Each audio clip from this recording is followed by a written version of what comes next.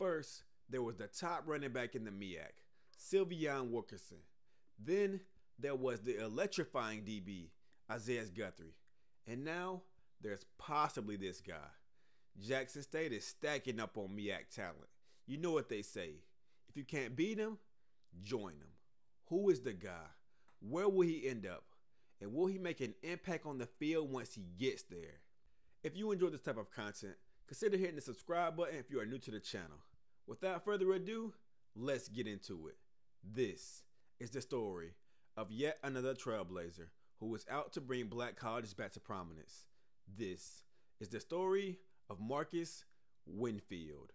Winfield is a 6'3, 250 pound redshirt sophomore from Cheltenham, Pennsylvania, where he attended Cheltenham High School. He graduated high school in 2019 and was a bit of a late bloomer.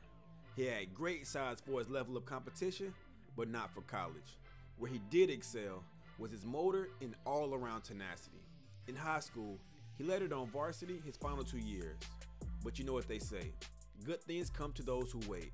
Check out some of his stats. He was all district, all state, all first team, the whole shebang.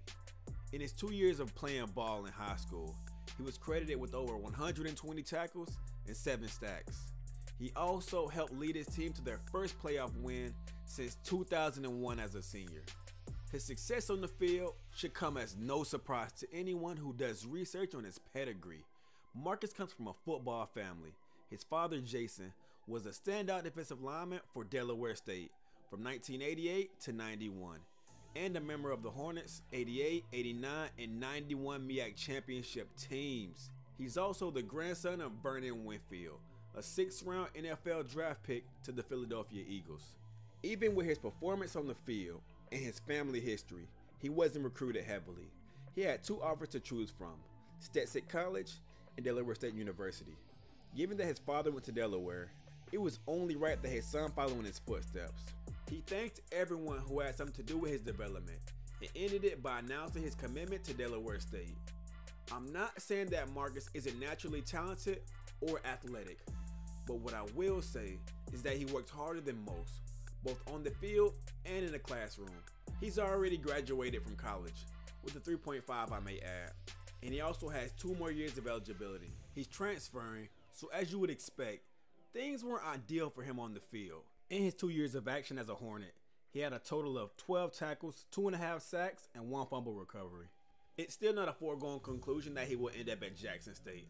Since entering the transfer portal, he's picked up offers from Kent State, UT Martin, Murray State, Tarleton State, the University of New Mexico, Jacksonville State, and of course, Jackson State. I'm not saying he will end up at Jackson State, but it's highly likely. What impact do I see him having? Whatever school he lands at.